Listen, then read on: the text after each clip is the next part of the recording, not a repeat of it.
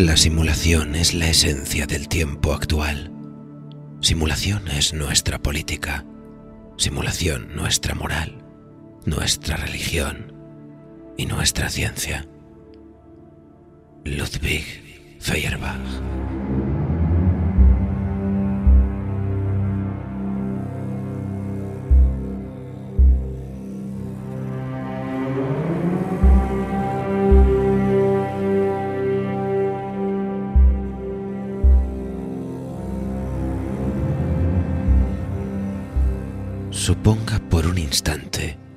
Que el narrador que en estos momentos le habla sea una ficción.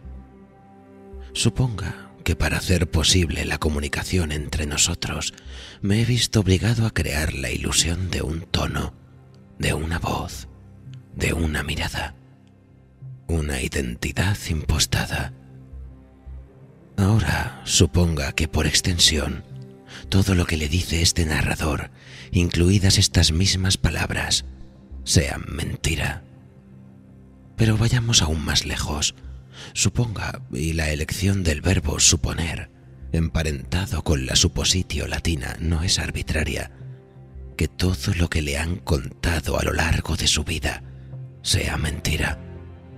La historia de la humanidad, el conjunto del conocimiento humano, el modo en que el hombre está y se relaciona con el mundo.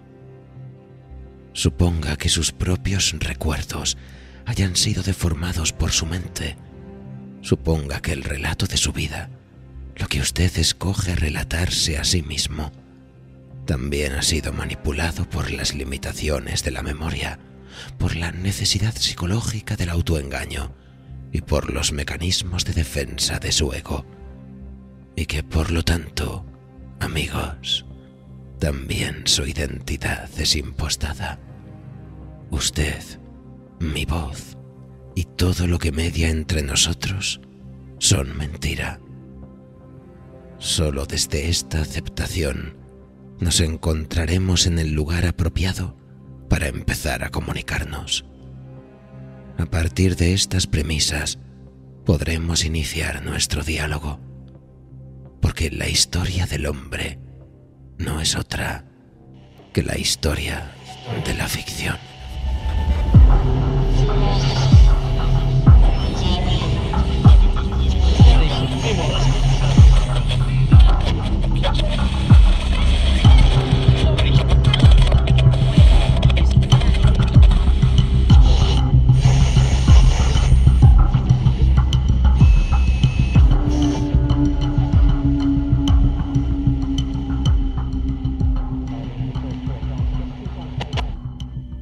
Historia de la mentira. Introducción al ensayo de Juan Jacinto Muñoz Rengel, publicado por Alianza Editorial.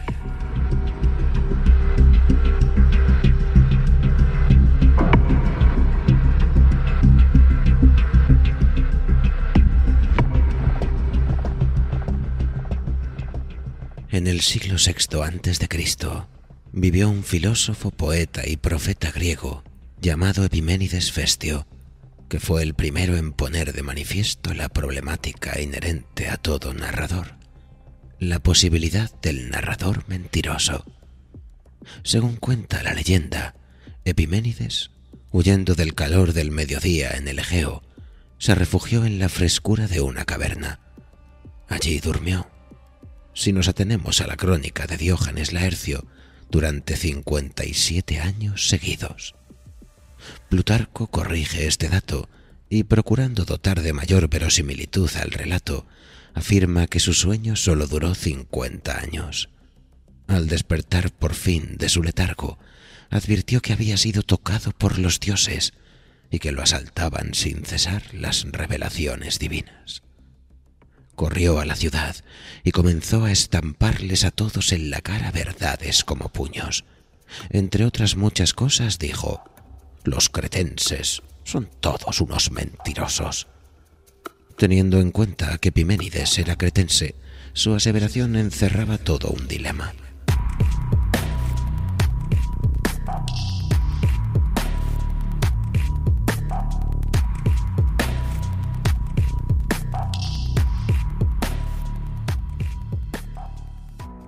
Los filósofos posteriores no tardaron en reparar en la verdadera magnitud del problema y se esforzaron incluso en afinar su enunciación para poner aún más de relieve su carácter paradójico. Así, mudaron la premisa original a las afirmaciones de todos los cretenses son siempre falsas, o a otras equivalentes como ningún cretense dice nunca la verdad, o más sencillas como esta frase es falsa, o simplemente miento. Y pasaron el resto de la historia tratando de resolver la paradoja, originando decenas de obras y de teorías en los campos de la semántica, la lógica, la matemática y la filosofía del lenguaje.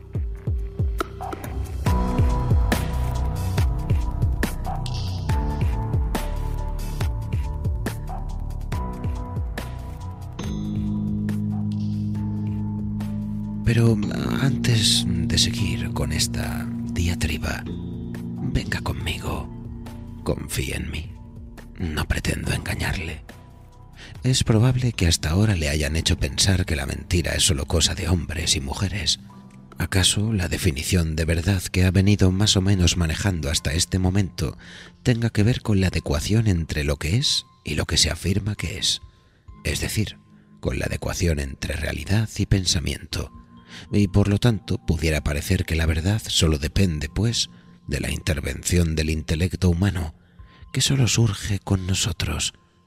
A estas alturas, no obstante, cabría que nos preguntáramos, entonces, ¿la naturaleza no miente? Trasladémonos hasta el comienzo del mundo. No es necesario que retrocedamos hasta los inicios de los tiempos, ni siquiera hasta el periodo de formación del planeta. Basta que nos detengamos en ese instante en el que las cosas empezaron a adquirir la forma que conocemos, justo antes de la aparición de los seres humanos. Ya están a nuestro alrededor los bosques recorridos por los ríos, las altas montañas y al fondo el mar, y en ellos la práctica totalidad de los animales conocidos, salvo nosotros. Pero prestemos un poco más de atención ¿No es eso que se esconde entre el ramaje un pájaro con el exacto color de las hojas? ¿No tienen también las plumas de aquel búho la misma forma y matiz que las rugosidades del tronco de ese árbol? ¿A quién pretenden engañar? A sus depredadores, sin duda. Sin embargo, ¿y ese guepardo que se agazapa entre los secos herbazales con sus manchas y su tono pajizo? ¿No está empleando también el camuflaje para engañar a sus presas? Alejémonos despacio, sin llamar la atención. Refugiémonos en la ribera del río, en medio de este silencio del mundo apenas abocetado. esperen, incluso aquí, aún dentro del agua, tanto usted como yo volvemos a tener auténticas dificultades para distinguir los peces sobre el lecho de piedras porque las escamas de sus lomos simulan con fidelidad las mismísimas formas de los cantos rodados.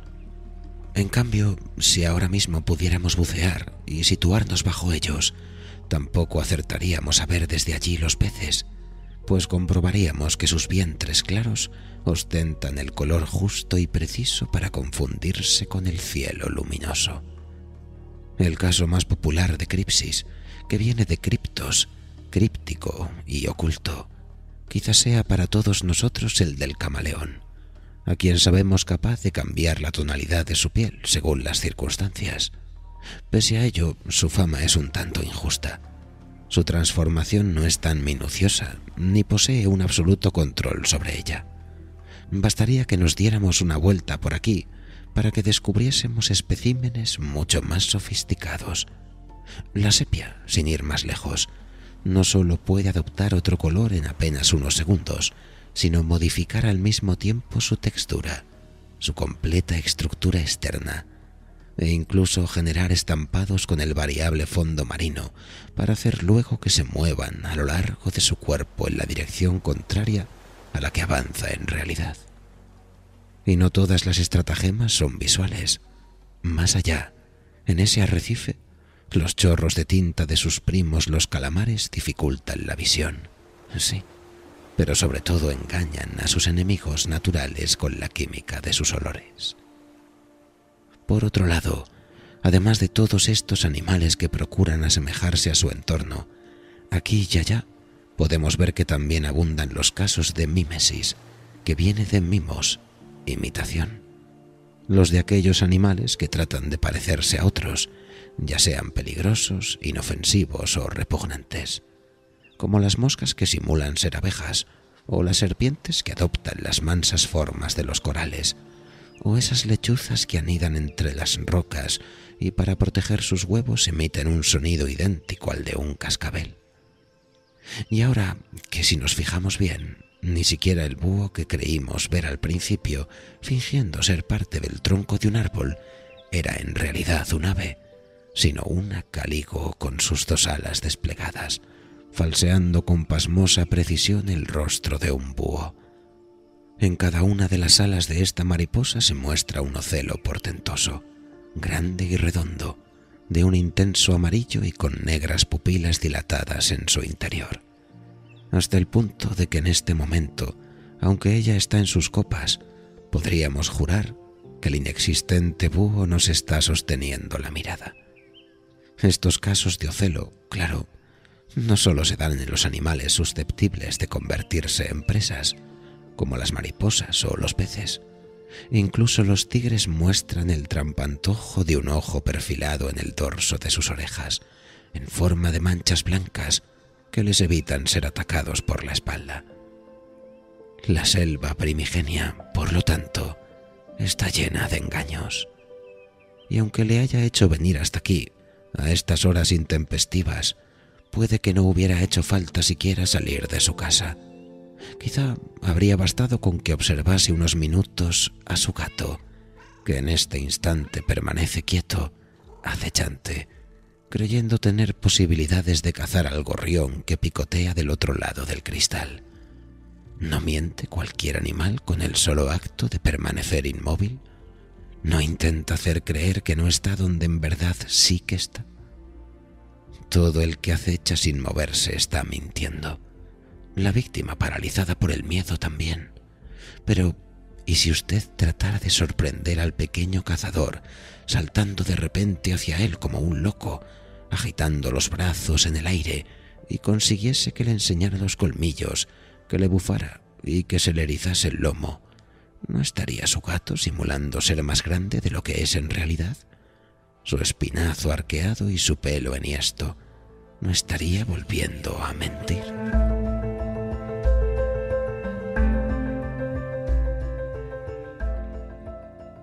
Por consiguiente, en la naturaleza estaba ya la mentira, mucho antes de que surgiera el lenguaje, mucho antes de que apareciéramos nosotros, ni usted ni yo, ni nadie que se le pareciera. Imagine cuál sería la incertidumbre de los primeros primates asaltados por un sueño. Cuánta perplejidad al despertar. Qué desconcierto al ser arrancados de pronto de esa otra historia de esa otra realidad con aparente sentido y cargada de imágenes y descubrirse en la cueva, solos, ateridos, sin el conejo blanco que habían conseguido atrapar, de nuevo sin la compañía de sus padres, fallecidos hacía tanto tiempo. que son los sueños, sino otra gran mentira? ¿Y el sexo?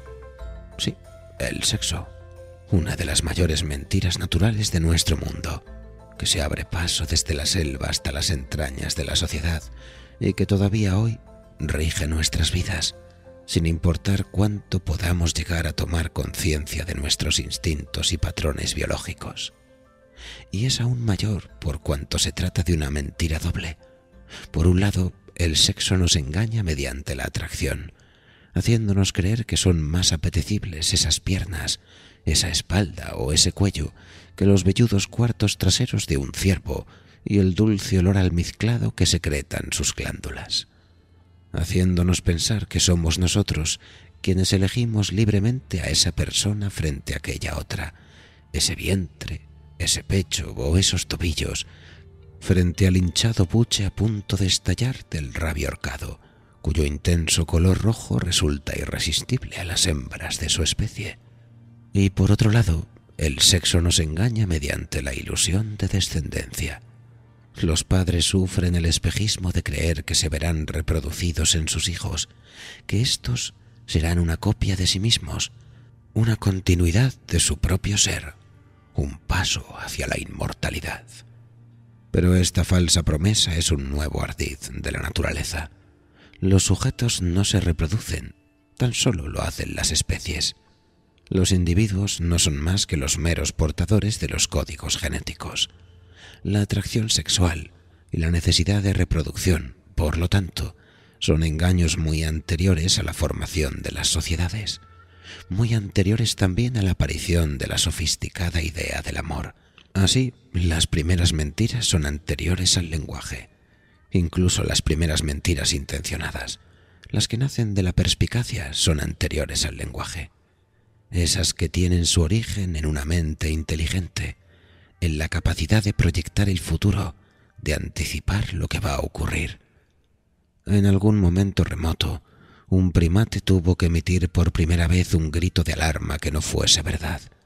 Aunque nunca antes hubiera sucedido, tuvo que haber una mañana concreta, quizá un mediodía, en el que a un mono capuchino se le ocurriese por primera vez avisar de la llegada de un depredador, haciendo ostentación de agudos chillidos y removiéndose nervioso. Pero en esta ocasión, no para salvar la vida de sus compañeros, sino para hacerlos huir y quedarse solo para él con el cangrejo que había visto aproximarse entre la hierba. La primera mentira semántica. Millones de años más tarde, por supuesto, surgiría el lenguaje tal y como lo conocemos, y las mentiras adquirirían la capacidad de volverse mucho más complejas y refinadas, dando lugar al arte, las religiones, la ciencia y el conjunto de la cultura contemporánea. No obstante, aquí habría que reparar no solo en que existen mentiras anteriores al hombre, sino también en que éstas se encuentran por encima del individuo. No es el búho concreto el que elige adoptar un plumaje similar al tronco de los árboles, ni el guepardo quien decide amarillear en la sabana. Ni siquiera el camaleón o la sepia tienen la opción de escoger. Es en las especies y no en los individuos donde reside la mentira. Es en la naturaleza, en su plan superior, en su inextricable afán de permanencia y de evolución hacia alguna parte donde está inserta la voluntad de inducir al error. La falsificación, la manipulación y el engaño no necesitan de las pequeñas voluntades de los seres dotados de inteligencia. La orquídea mimetiza con su labelo a las abejas hembras, no solo imitando su forma, sino replicando también su producción de feromonas, para lograr así que los zánganos la polinicen. Y ni siquiera posee un sistema nervioso le aseguré que no iba a engañarle, que podía acompañarme sin riesgos. Mentí.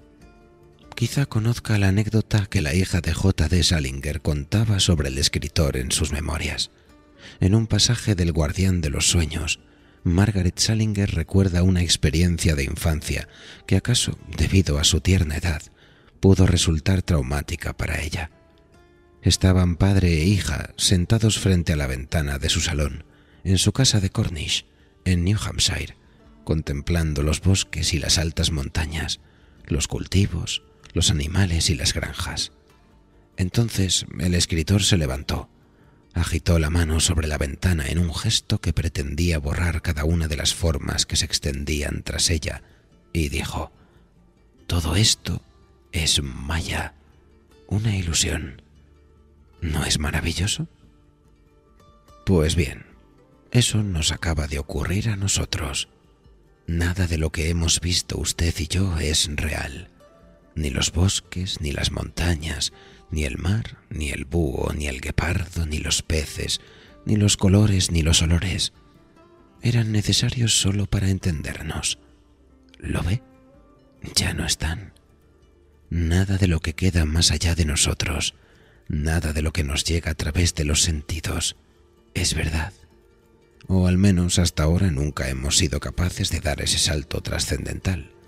Por el momento seguimos aquí encerrados, dentro de nosotros mismos, y todo lo demás es ilusión.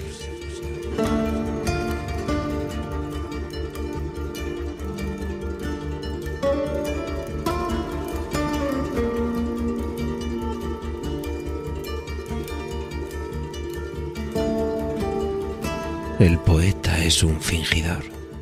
Finge tan completamente que llega a fingir que es dolor, el dolor que de veras siente. Fernando Pessoa.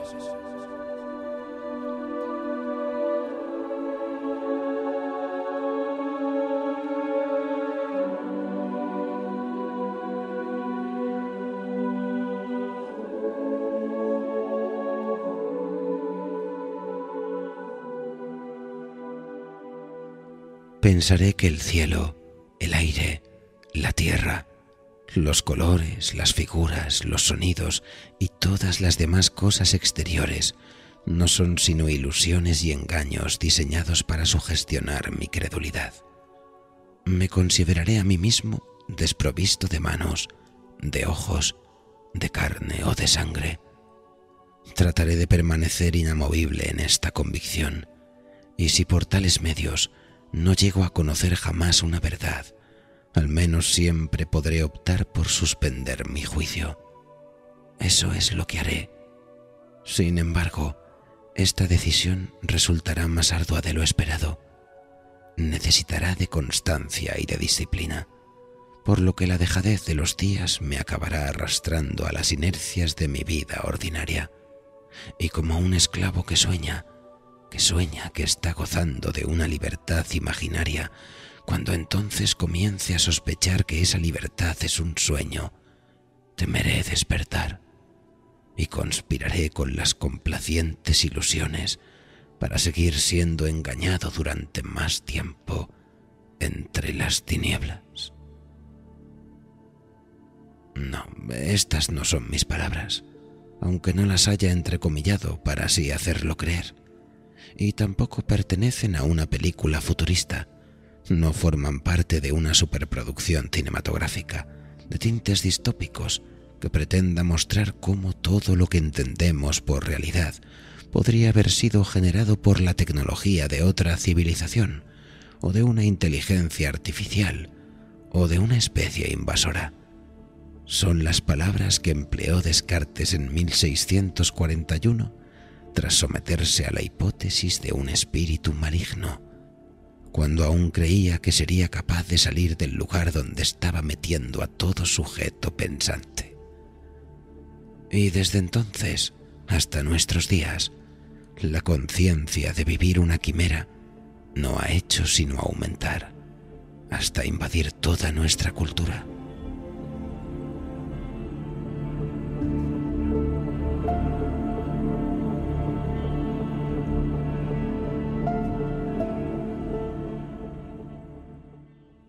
Si bien la noción de la realidad como simulacro formaba ya parte de la filosofía desde la antigüedad, estaba en el pensamiento oriental a través del concepto de Maya. En los textos sagrados de las Upanishads o en la escuela del Vedanta, Maya es la ilusión, el mundo en cuanto a apariencia, el yo fenoménico frente a lo que permanece oculto por su velo, es decir, el absoluto, el ser trascendente, el Brahman, para el cual los fenómenos empíricos podrían ser perfectamente irreales. Y también estaba en Platón, desde el instante en el que separa el mundo sensible de ese otro mundo de las ideas, dando lugar a una teoría del conocimiento que dejó perfilada con gran viveza plástica en su célebre alegoría de la caverna. La repetiré una vez más, pese a ser consciente de que ha marcado el rumbo de la filosofía y de seguro la conocerán, por su especial pertinencia llegados a este punto. Lo que Platón nos pide es que imaginemos a unos hombres en el interior de una cueva, en la que se encuentran cautivos desde su tierna infancia, con las piernas y el cuello inmovilizados por cadenas, de manera que solo puedan mirar hacia adelante.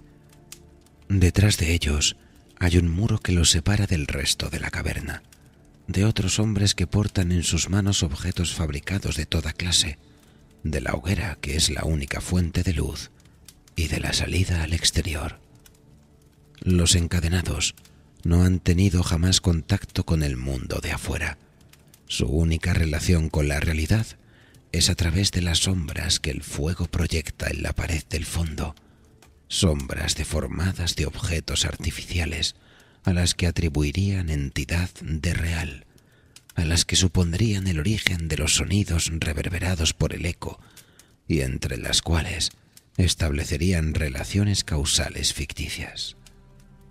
Estos prisioneros, incapacitados para caminar sobre sus pies o para contemplar el mundo exterior a la luz del sol sin cegarse, condenados a tan solo esgrimir débiles conjeturas sobre la realidad y abrazar un conjunto de creencias tan alejados del verdadero ser, somos nosotros.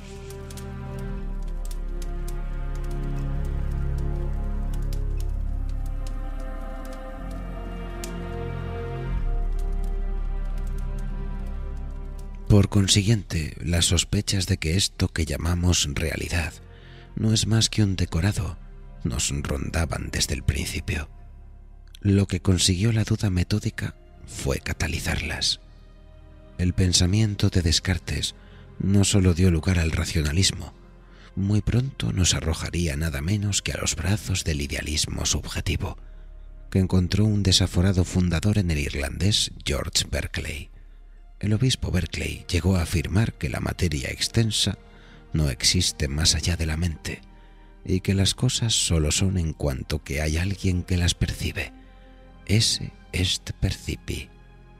Más tarde, el devenir de este pensamiento tendría como una de sus consecuencias la fenomenología y, al fin, la posmodernidad. Toda la filosofía moderna y contemporánea está impregnada por esta sensación de caminar entre espejismos, o por la intuición de que no podemos evitar multiplicarlos según tratamos de avanzar. Ya en el siglo XX, Bertrand Russell consigue expresar esta sombra de escepticismo con una imagen igualmente plástica y evocadora. Lo hace en el primer capítulo de sus Fundamentos de Filosofía, de 1927 recuperando un supuesto que había articulado por primera vez, aunque nunca llegó a suscribirlo, en su novela conferencia The Analysis of Mind. No hay imposibilidad lógica en la hipótesis de que el mundo haya sido creado hace cinco minutos, exactamente como es, con una población que recuerda un pasado por completo irreal. No hay una conexión lógica necesaria entre eventos de distintos momentos. Por lo tanto, nada de lo que sucede ahora o suceda en el futuro puede refutar la hipótesis de que el mundo comenzó hace cinco minutos.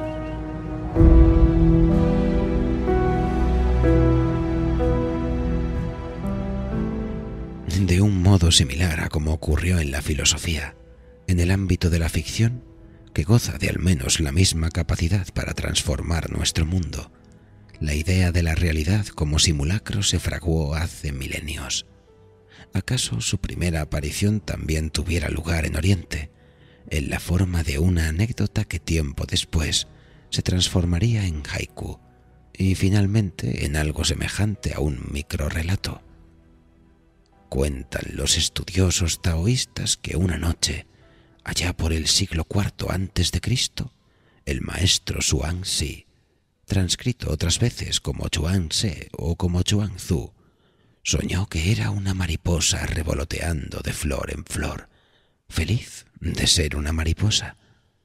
Esa mañana, sin embargo, despertó perplejo, porque el sueño había sido tan intenso que le había hecho olvidar por completo quién era mientras duró. Sus discípulos le preguntaron, Maestro, usted nunca antes había estado triste. ¿Qué le ocurre hoy?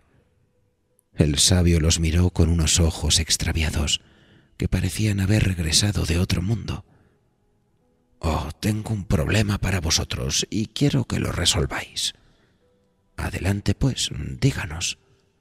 Esta noche he soñado que era una mariposa. Sus discípulos rompieron a reír, creyendo que se trataba de una broma. Pero ahora está despierto. ¿Por qué hemos de seguir preocupándonos? Prestad atención. Este es el problema. Si yo puedo soñar y en mis sueños me es posible convertirme en mariposa, ¿qué impide que ocurra justo lo contrario? Una mariposa podría de la misma manera dormirse y soñar que se ha convertido en su ansi. Decidme entonces, ¿en verdad he soñado que era una mariposa o es la mariposa la que ahora está soñando ser su ansi?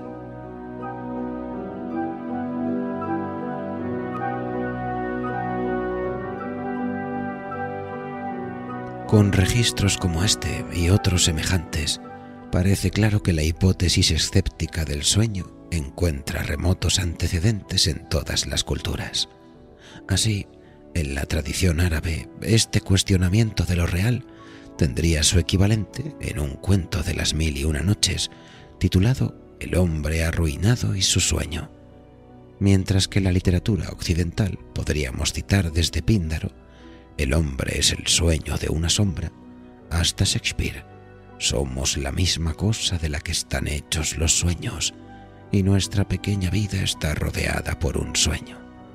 Desde Sófocles, nosotros, todos cuantos vivimos, no somos más que simulacros y una leve sombra, hasta Calderón de la Barca, que en el clímax dramático de la vida es sueño, de 1636, pone de manifiesto el carácter ilusorio de la realidad con los célebres versos de su personaje, Segismundo.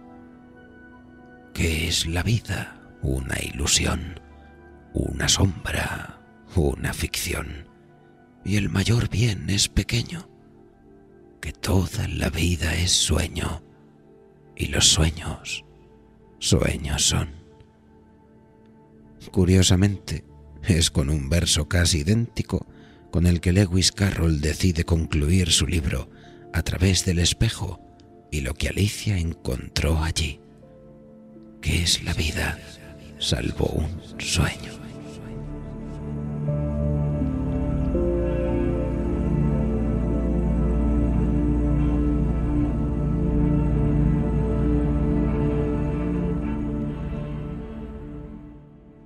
Tras haberse adentrado en el mundo de los sueños y las paradojas con la obra que le dio la fama, Alicia en el País de las Maravillas, el reverendo y lógico matemático conocido por el seudónimo de Lewis Carroll, se decidió a dar forma a esta segunda parte, a través del espejo, en la que se interna en el mundo especular, reduplica el nivel de los problemas e insiste en la idea del sueño dentro del sueño. Y es a la altura del cuarto capítulo cuando Alicia se encuentra con Tweedledum y Tweedledee, en una escena en la que los gemelos le revelarán que ella misma no es más que algo sin importancia en el sueño del rey. Ahora está soñando, le diría a Tweedledee. ¿Y qué crees que es lo que sueña? Nadie puede saberlo, habría de contestar Alicia.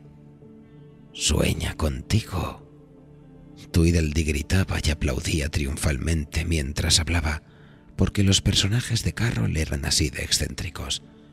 Y si dejara de soñar contigo, ¿dónde crees que estarías? Aquí mismo, donde estoy ahora, por supuesto. No, le replicó con desdén. No estarías en ninguna parte, porque no eres más que una pieza en un sueño. Su hermano Tweedledum remataría la discusión.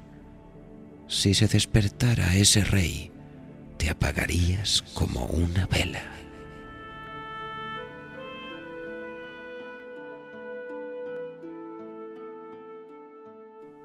El escritor Jorge Luis Borges, quien entre otras muchas cosas se convirtió en el mayor divulgador de la anécdota de la mariposa de Swansea en nuestra lengua, por encima de Octavio Paz o de Lezama Lima, al incluirla en varios de sus textos y en la antología de la literatura fantástica que editó en 1940 junto a Adolfo Bioy Casares y Silvina Ocampo, confiriéndole allí su forma quizá hoy más conocida, también recogió en este mismo volumen el mencionado fragmento de Lewis Carroll. Y al mismo tiempo, él se sentía tan o más perseguido por la idea de ilusión y por la conjetura del sueño como cualquiera de los anteriores, tanto que sería excesivo enumerar aquí todos aquellos de sus poemas, cuentos, artículos o ensayos en los que se puede rastrear este motivo.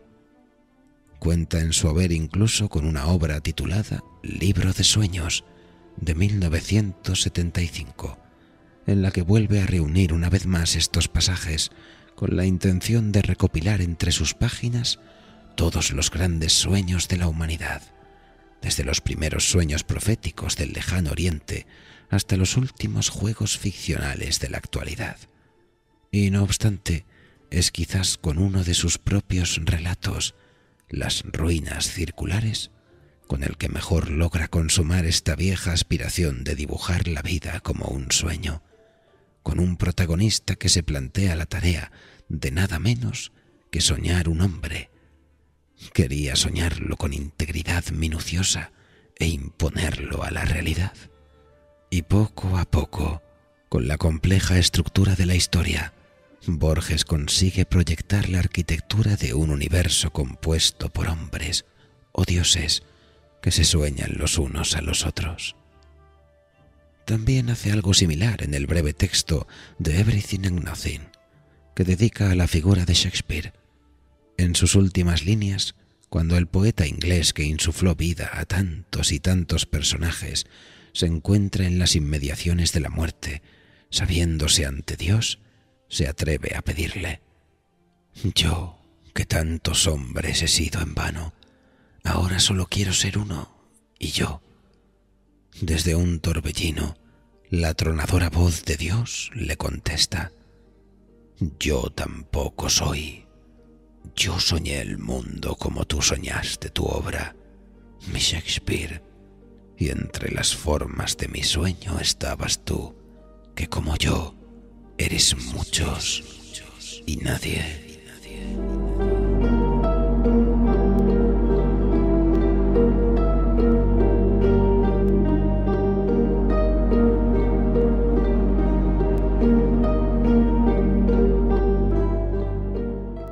No está de más aclarar que si bien lo utiliza como tema y como recurso narrativo en innumerables ocasiones, Borges nunca llega a afirmar la existencia de Dios. En realidad, todo el pensamiento borgesiano oscila sobre algo parecido a esta disyuntiva. ¿Es la vida soñada por alguien, que en última instancia solo podría ser nuestra vaga noción de Dios? ¿O más bien, se trata de un sueño que se sueña a sí mismo? Con todo, aún resta otro relato del genio argentino que adquiere aquí especial pertinencia. Un texto que se aleja de la hipótesis del sueño y que, no obstante, representa con mucha más exactitud lo que ha venido sucediendo desde que dio comienzo la posmodernidad. Como la cultura, el constructo humano de la hiperrealidad que flota sobre nuestras cabezas, ha terminado por engullir todo lo que de una forma intuitiva antes entendíamos por auténtico y nuestro débil contacto con el mundo.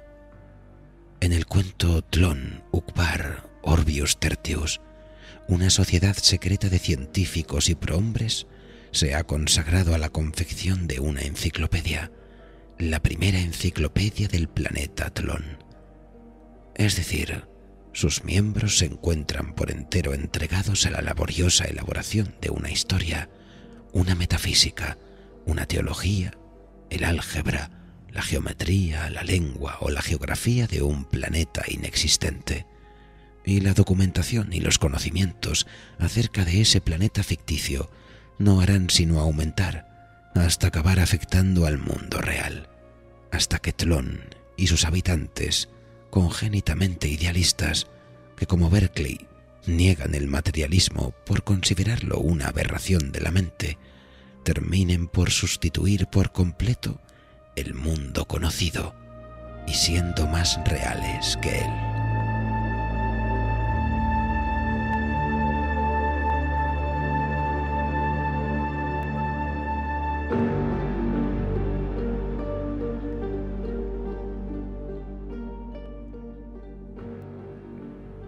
De una manera inquietantemente similar, según nosotros vamos sumando nuevos conocimientos y ficciones a la esfera de nuestro acervo cultural, no dejamos de superponer capas y más capas sobre nuestro modelo de realidad, convirtiéndolo en algo cada vez más distinto de lo que era.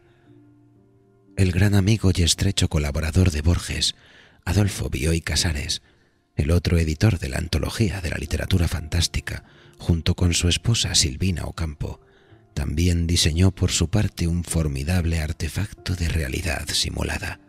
En su novela La invención de Morel, un fugitivo escondido en una isla desierta, contaminada por la radiación, descubre de repente la imposible presencia de un grupo de turistas. Como no puede explicarse qué hacen allí, la curiosidad lo empujará a espiarlos hasta observar otras conductas insólitas, como que traten de quitarse el frío a pesar del sofocante calor. Y al fin reparará en que en ciertos momentos en el cielo se superponen dos lunas y dos soles. Tras la larga sucesión de extraños fenómenos, tan solo cabía una explicación. Uno de los turistas, Morel, había inventado una máquina capaz de reproducir la realidad. Desde nuestra posición, podríamos pensar que lo que sentiría cualquier espectador ante los efectos de la máquina inventada por Morel no sería muy distinto de lo que experimentaron los asistentes a la primera exhibición pública de los hermanos Lumière, la tarde de enero de 1896, en la que proyectaron la llegada de un tren a la estación de la Ciotat en el Gran Café de París, salvo que esta vez en tres envolventes dimensiones.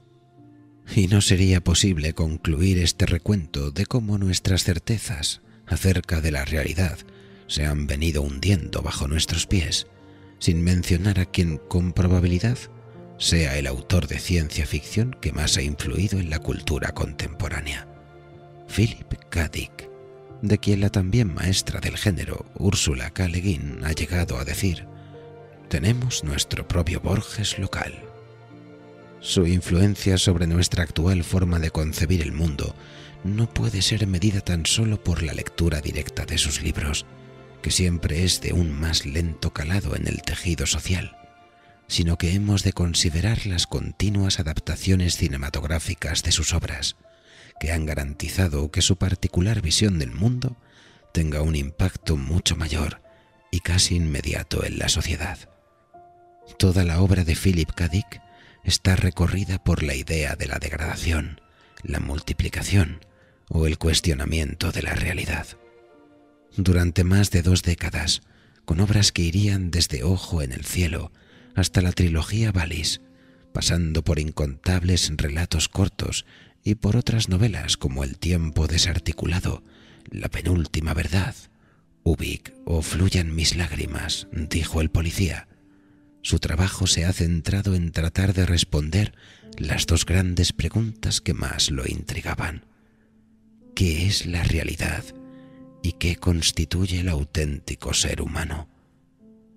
Bien sirviéndose de la tecnología, bien de las drogas, estos dos temas interrelacionados han sido una constante en su producción, la cual, como el mismo autor afirma a finales de los 70, en una charla titulada Cómo construir un universo que no se derrumbe dos días después, ha girado siempre en torno a qué somos y qué es esto que nos rodea lo que llamamos no yo, o el mundo empírico o fenoménico. El protagonista de su novela, El tiempo desarticulado, entre todos aquellos de sus personajes que nos podrían servir de ejemplo, cree vivir en el año 1959, en una tranquila zona residencial estadounidense. Gracias a sus facultades premonitorias y a las distintas anomalías con las que se va tropezando, comienza a sospechar que su mundo no es del todo real. Cuando trata de huir de su ciudad, tras superar todo tipo de absurdos impedimentos, descubre que su verdadera época es 1998. Pero entonces sus captores lo atrapan y le borran la memoria. En un segundo intento de fuga, ahora acompañado por su cuñado, quien al igual que todos los demás está implicado en la tremenda farsa, descubrirá que toda su idílica ciudad está construida a partir de sus recuerdos de infancia y de sus sueños, para protegerlo de un futuro que se encuentra en guerra con los colonos de la luna. En esta trama concreta de Dick, los poderes fácticos de la realidad estarían representados por los altos mandos militares, que utilizan las dotes de su personaje para predecir dónde caerán las siguientes bombas nucleares del enemigo. Es probable que a estas alturas ya hayan advertido las muchas coincidencias con la conocida película El Show de Truman, llevada al cine precisamente en 1998 por Peter Weir. Sin embargo, no es la única de las obras destinadas a desvelar la gran mentira de la realidad de Philip K. Dick, que ha tenido un enorme peso en cómo percibimos hoy el mundo que nos rodea. El escritor estadounidense gozó de la capacidad de causar verdaderos estragos en nuestra cultura con relatos de apenas 20 páginas. Piense, por ejemplo, en el argumento del cuento Podemos recordarlo por usted al por mayor, de 1966, cuyo personaje principal ansiaba viajar a Marte a pesar de que sus ahorros no se lo permitían. En su lugar, visitó la empresa Recall Incorporated, especializada en los implantes de memoria, que le ofreció insertarle los recuerdos de toda una aventura en el planeta rojo, a donde habría viajado como agente secreto. Los problemas surgen cuando al tratar de modificar su memoria descubren que, en efecto, el protagonista era un agente encubierto del gobierno al que habían borrado todo rastro de la información confidencial que conocía. En este punto, el lector del relato puede intuir ya el vértigo del bucle que se abre bajo sus pies. A partir de aquí, será difícil distinguir si todo lo que está ocurriendo sucede de verdad o es parte del paquete vacacional comprado por el cliente. También habrá sido fácil reconocer la historia en la célebre película Desafío Total, de 1990, la adaptación de Paul Verhoeven protagonizada por Arnold Schwarzenegger. No obstante, sus influencias son aún mayores si cabe, y los verdaderos efectos de este y de otros de sus cuentos breves no acabarán de eclosionar hasta la segunda mitad de los 90, en un movimiento de alcance mundial que incluiría producciones como Doce monos, Días extraños, la japonesa Ghost in the Shell, la española Abre los ojos, aunque Alejandro Amenábar no haya reconocido la influencia directa de Dick, Gattaca, Dark City, Existence, Nivel 13, como Sergio Malkovich y probablemente por encima de todas las demás, Matrix. Esta última ha acabado convirtiéndose sin duda en el icono por excelencia de la realidad virtual generada por ordenador. Matrix, con constantes referencias, entre otras, a Alicia en el País de las Maravillas de Lewis Carroll, se ha erigido en una película de culto, conocida por muchos como la Biblia digital, un fenómeno de masas que ha arrastrado tras de sí una legión de seguidores y ha originado toda una forma de filosofía popular centrada en la percepción de la realidad como simulacro fue la culminación del efecto dominó provocado por el pensamiento de Philip K. En el cambio de siglo.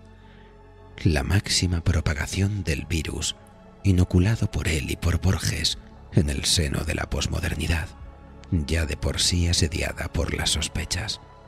Si bien sus repercusiones se siguieron multiplicando en la siguiente década, nuestra época se encuentra del todo inundada por estas imágenes que se contagian con extrema facilidad, y nuestra percepción de lo real depende de nuestro legado icónico, de cómo aprendemos a interpretar las imágenes y también de cómo construimos nuestra identidad individual y colectiva, de cómo escribimos o reescribimos nuestra historia, de cómo cobran forma las tradiciones, las leyendas, el imaginario popular, los sesgos y los prejuicios, las ideas se acumulan, evolucionan o se transforman alrededor del ser humano. Siempre ocurre así, aunque todavía no hayamos podido ir más allá de nuestra mente, ni demostrar el resto del mundo al mismo tiempo. Ninguno de nosotros pensamos o creamos nunca de forma aislada. Ni el mayor genio adelantado a su tiempo lo hace. Cada idea nace siempre de otras tantas ideas previas, procedentes del complejo entramado que conforma el saber acumulado en nuestros sistemas de escritura y en el conjunto de las restantes mentes. Pese a que, por el momento, las mentes de los demás no sean más que una conjetura y una prolongación de mi propia subjetividad. Y así nos encontramos siempre en el límite de los mundos, en constante y frágil equilibrio entre lo físico y lo metafísico, entre el yo y los otros, entre las percepciones y la cosa en sí, entre las apariencias y lo que es o se supone que es, apresurándonos a tejer nuestra red de ficciones con el abismo de la más pura nada bajo nuestros pies.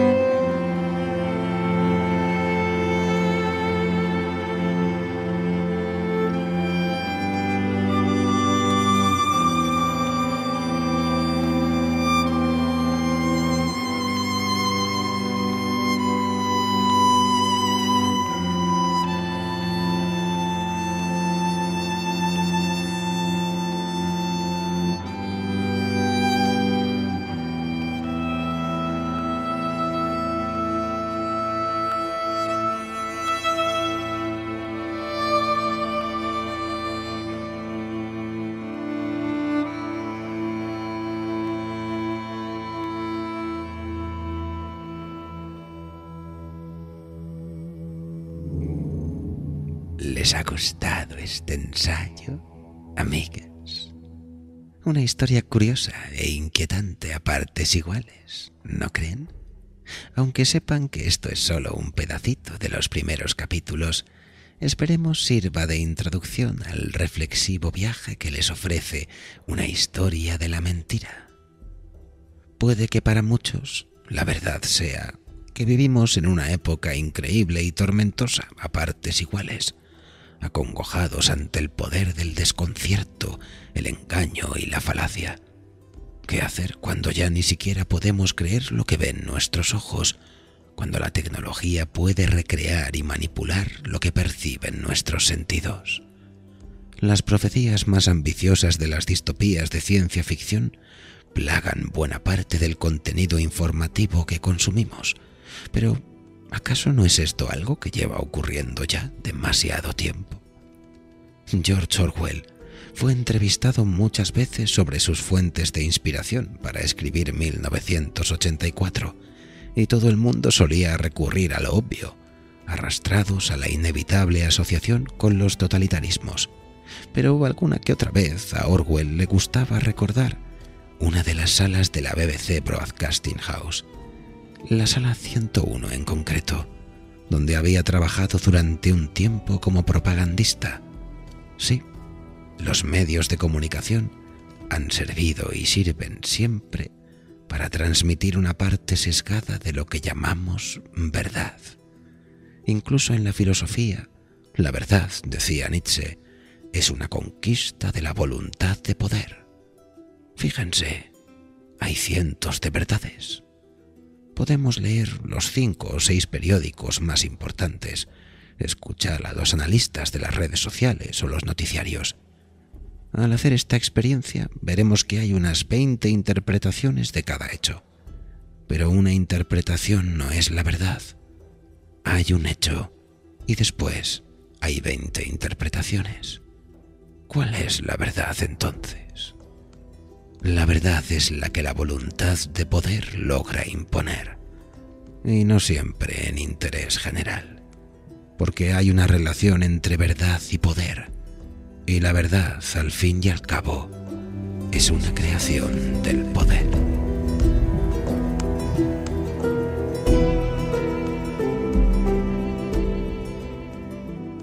pero lejos de querer entrar en el relativismo autodestructivo o conspiranoico, nótese aquí que cuando hablamos de verdad no queremos decir realidad. En eso nos gusta más fiarnos del maestro Philip K. Dick, cuando advirtió que la realidad es todo aquello que incluso aunque dejes de creer en ello, sigue existiendo y no desaparece.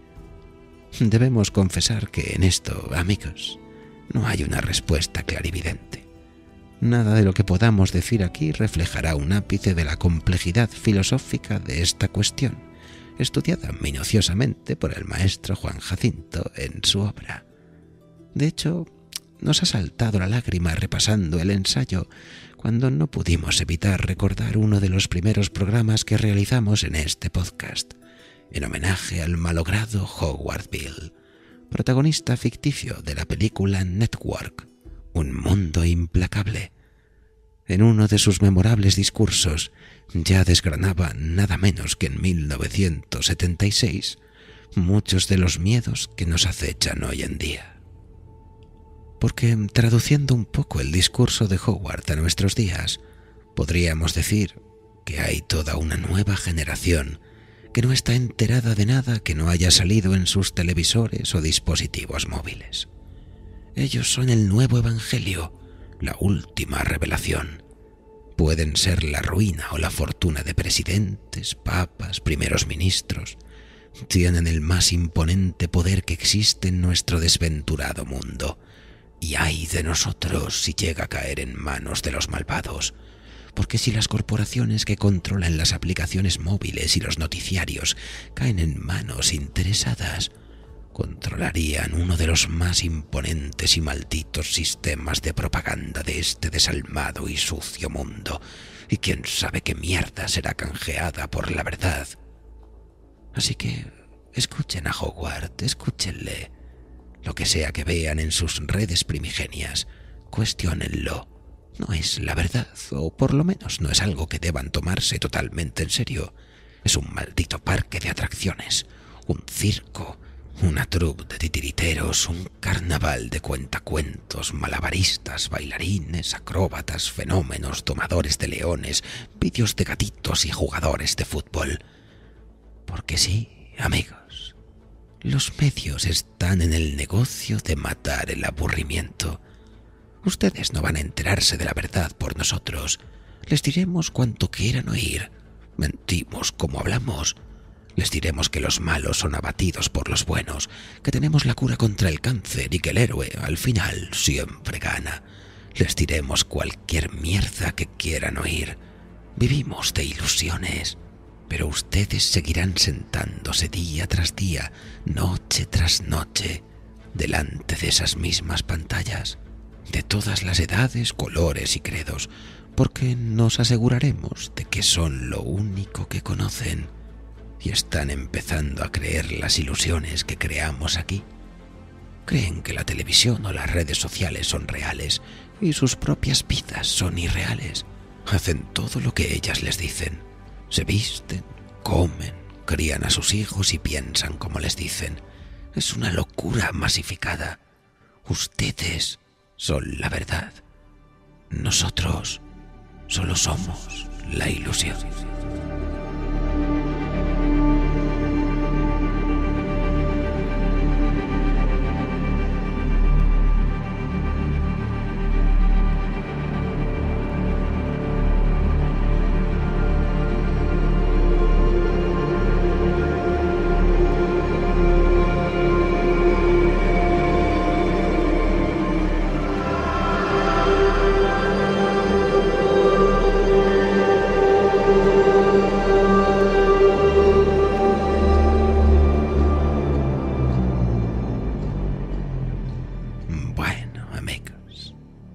Puede que al bueno de Hogwarts Bill se le fuera un poco la pinza, pero desde luego su discurso da que pensar. Así que mientras digerimos todo esto, recuerden que pueden escucharnos cuando a ustedes les plazca a través de nuestro podcast en www.epox.com o en nuestro portal dimensional en noviembrenocturno.es.